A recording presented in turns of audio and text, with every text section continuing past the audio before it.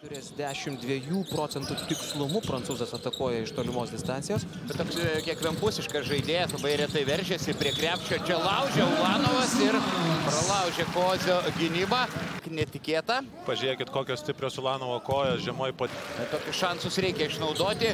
Na, Kurtinaitis gal norėjo kiek aukštesnio starto penketo, nes e, Žalgerio tikrai nemažas ūgis, kaip žinome, daug centimetrų, daug jėgos, atletiškumo ir labai netaiklus metimas. Na, Keiveris, kaip atsakė, labai laukia šių rungtynių. Invernici vėluoja, užtvara buvo Evansui ir Invernici gynybos klaida. Tiek Eurolygoje, tiek BCP LKL fronte yra 34 taškais. Šį sezoną Ulanovas iš savęs ir savo komandos reikalauja maksimaliai daug. Kylanas Evansas kyla nuo pirmuosius 10 taškų, taip atsakydama į klausimą, kurį uždavė kolegos Norfo. Kai reiškia rungtynės pergalę prieš Valenciją ir Krisą Džonsą. Žinom visas tas istorijos, kas buvo pirma ir antra opcija. Rūtis atėjo į pagalbą, bet ta pagalba jau buvo bergždžia. Kiek Karoli e, Lukauskiui yra metų? 50. Norė- Norėjau 43. palyginti su... Ui, koks aliupas. Atsiprašau, Vaidai, kad pavokiau iš tave šauksnį, bet labai organiškai. Eigirdas Žukauskas. O čia Laurinas Birutis daug šokti jam nereikia, kad e, taip rūstų kamuolį. Nu štai dabar geresnė pozicija užsėmė kamuoliui Markosas Dėlyje. Neatsargus perdavimas. Žalgiris yra viena geresnių gynybos komandų net ir Eurolygos. Iš visų komandų 369 keitimus. Kazis Maksvitis šį sezoną atliko Eurolygos fronte. Nėra jokios kitos komandos, net arti, kurie atliktų tiek daug keitimų ir naudotų tokią dažną rotaciją. Neturi toje situacijoje Vilkai. Oi, puikiai ataka, tačiau Šmitas gesina Lukauskį, bet viskas buvo.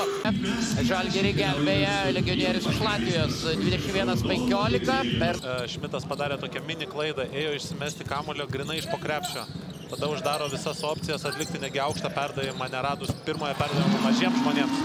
E, Eurolygos rungtynės, tačiau ir Europos taurė trečiadienį. E, Prometėjus čia žais savo Europos taurės rungtynės. Ukrainos komanda Dimša.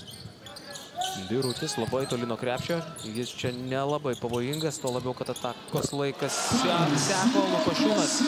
Sako plano žaisti nugarą. Taip, logiška veidų į krepšį. Prado kiek kamulio kontrolė, Edgaras. Improvizacija, sunkus metimas, bet Ulanovui šį sezoną sunkių nebūna. Piraitis e, numeta kamulį Brasdeikio ir trys Igno taškai. Nėra lengva taip be pražangos išmušti kamulio tokiuose situacijose. Oi, prašoka, Žemaitis be reikalo bandė perimti kamulį ir iškart baudžia. Tomas Dimša neįvertino situacijos, tikrai beveik nebuvo šansų. Ir jo komanda maksimaliai užsivedus spaudžia, dusina žalgerį, kiek tik tai turi jėgų, kiek tik tai gali. Daileris Kevanau pataiko iš trijų taškų zonos, net ir ginantis prieš tokius gynėjus, kaip kad Milošas Teodosičius ir panašus. E, Taip ne vieną pergalę žalgeriui šį sezoną padėjęs iškovoti. Na, tris tritaškius pataikęs Keiveris, aišku, jaučiasi ant sparnų. Geras Ulanovo perdavimas ir jokių variantų prieš Tailerį Kevaną Vulks neturėjo. Absoliuti lygybė švieslentėje. Ir Vuls krepšininkai šiandien... Oi, štai Butkevičius apvagė Keiverį ir krauna iš viršaus. Edgaras Ulanovas, Arnui Butkevičiui, šis į baudos aikštelę, kontaktas, du taškai ir pražanga ir dar labai skausmingas epizodas Regimantui Minetui. Į kirkšnio zoną, ar ne? Oi, de, de, dešiniu keliu Butkevičius įvažiavo į Miniotą. Skausminga. Nusuko ten nugarą į kamulį, Lekavičius vos nenubaudė ir čia to stiliumi beveik nubaudė. Lukauskiui išslydo kamuolys ir tai padėjo Dimšai blokuoti varžovo metimą. O, Arnas Butkevičius atima kamuolį. Dar vienas dėjimas iš viršaus. Ir Arnas Butkevičius turėtų būti teisiamas, man atrodo, pagal kokį nors administracinį teisės pažeidimų kodeksą už... Pamuša į kampą Butkevičiui. Ir Šmitas vieną ranką kepšteldamas atliko perdavimą. Dabar tą daro dar kartą Šmitas.